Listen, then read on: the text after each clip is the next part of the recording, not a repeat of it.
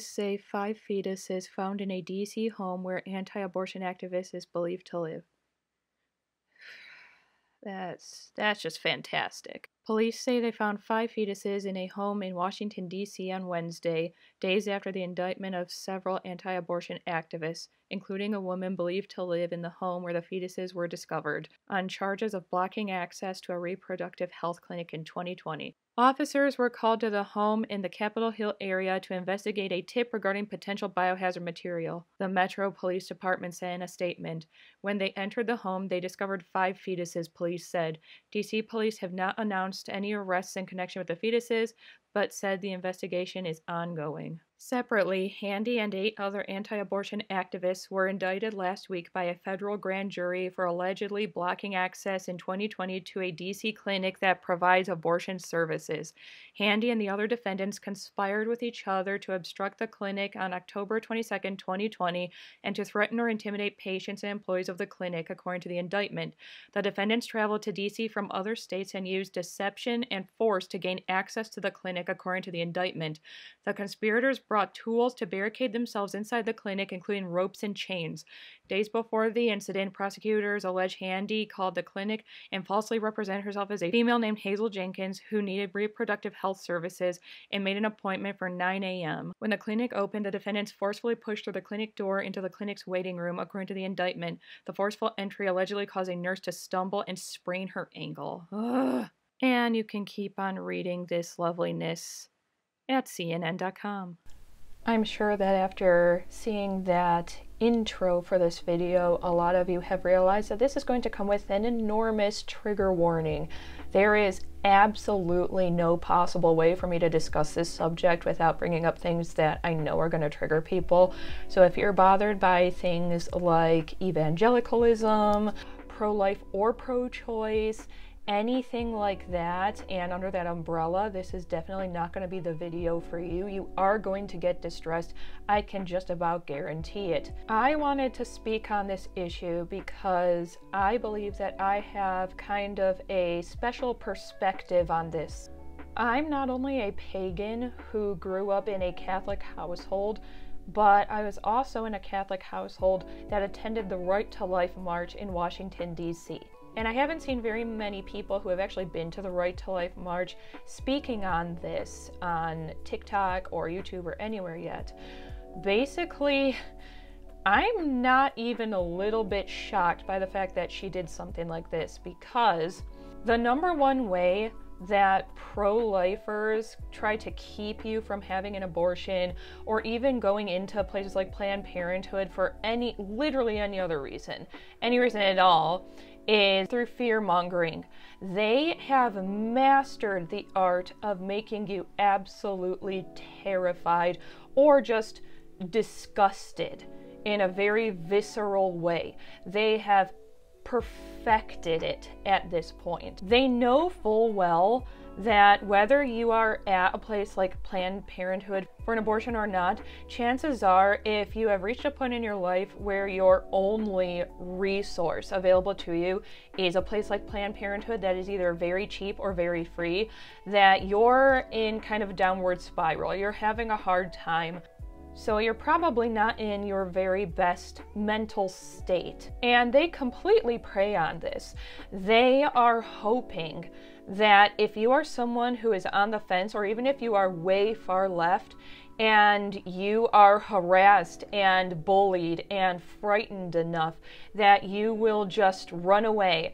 They're not necessarily expecting you to completely convert. They know that they don't have that kind of power in that setting, but they're hoping that they can get you to run away and never come back, and that way they can say, we won. And I'm sure that by now a lot of you have seen a lot of people on my side of this issue, in case you hadn't noticed yet, I'm very, very pro choice, saying, that the thing that frustrates us most about people like this is that they do everything in their power to keep you from having an abortion, but then they do absolutely nothing and give you absolutely no resources to help you keep that child safe, happy, and healthy. So you have someone that, let's say, was going there for an abortion because they're in absolute poverty and there's no way they can even afford formula and diapers So they terrify them into not getting that abortion that day.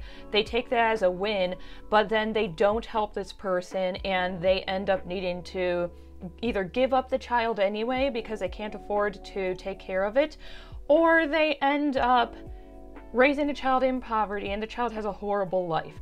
Listen, please, if you ever get a chance on especially TikTok to people who were children of someone who wanted an abortion who was unable to get one. Listen to what they have to say because 9 out of 10 of them say they wish they'd been aborted. Now, rounding back to this specific issue, this news story the number one thing I keep seeing people say is just why. Whether they're far right or far left, they're all just saying why. The far right is saying, I don't understand how she could betray us like this. Why would she have something like this when, you know, she was supposed to be one of our own? She's very extreme. So I imagine a lot of people who are alt right Christians are horrified by this and can't understand it. I'm sure some of them are going to already be building conspiracies on someone must have just put her up to this. Someone must have planted it there, even though she's already admitted to it by saying something, um, paraphrasing here, along the lines of they're going to be shocked when they see what's in there. So she was fully aware that she had done this. The left is also very upset because although none of us are shocked by the fact that she's done something like this, we still find it disgusting and horrifying. That is not safe for her. It's not safe for the people who live in close proximity to her. And the other reason a lot of us are upset is because we know full well what she was doing with those fetuses. For anyone who has never been to the Right to Life March in DC, this is basically what goes down there when you're marching down the street, there are people who literally have billboard sized signs that they have created themselves. Sometimes they're digital, sometimes they're just printed out. And they follow you around with them, whether you're on their side or not, just to terrorize you with them.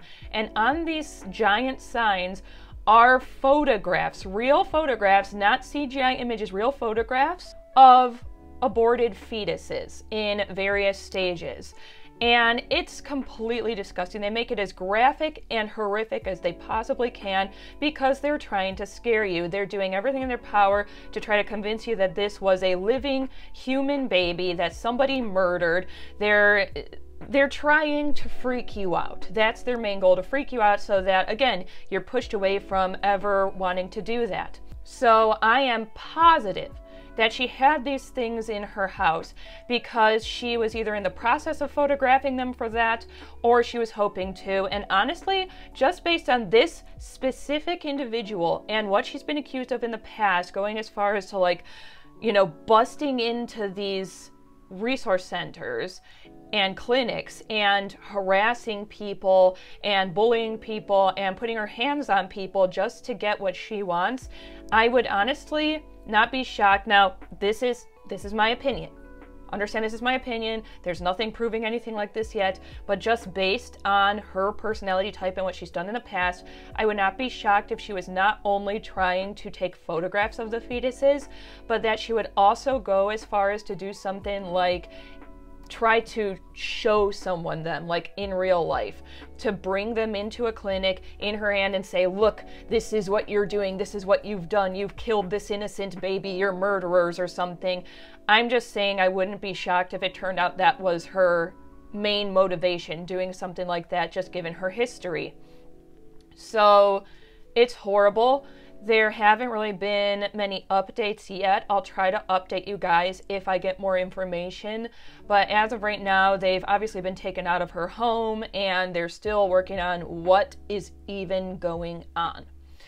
And I'm probably going to have comments off on this video because it is a very, very divisive issue. And even though I don't generally shy away from controversy, it can cause a real big problem in some cases if people get too riled up about this. And honestly, there is every reason to be upset about this from either direction, but just understand if you are someone who is Christian and who is pro life and very anti pro choice, and you are totally okay with things like the Right to Life March and people protesting outside of Planned Parenthood and other clinics, that offer abortions, if you are one of these people, understand this is not an isolated incident.